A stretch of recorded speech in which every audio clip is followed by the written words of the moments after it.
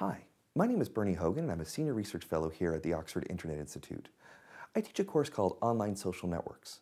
Now you might be thinking that this course is studying Facebook and Twitter, but it's actually studying an academic concept called structural analysis.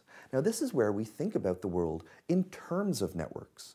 I mean, networks are everywhere, whether they refer to our friendships, connections between trade, between countries, uh, disease, transmission networks, or even memes. Well, the online world is an excellent source of relational data for networks.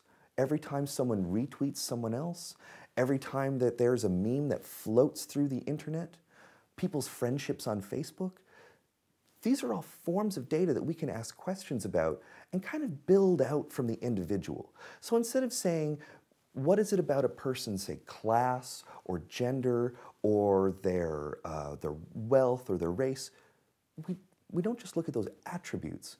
We look at a person's context. We say, what about the number of friends a person has? What are people lonely online? Do people talk to a large audience or a small audience? And what difference does that make to who they, uh, who they communicate with and how they communicate? So since network is a really big paradigm, we can only scratch the surface of it.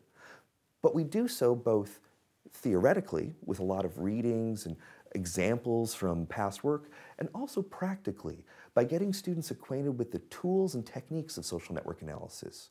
We go through some of the basics. We don't really assume uh, any prior knowledge of networks. But by the end of the course, we, uh, we typically year on year have students who have publishable level quality work being able to talk about how the relationships between people and between things online actually make a difference to the online world and to their sense of selves and to society.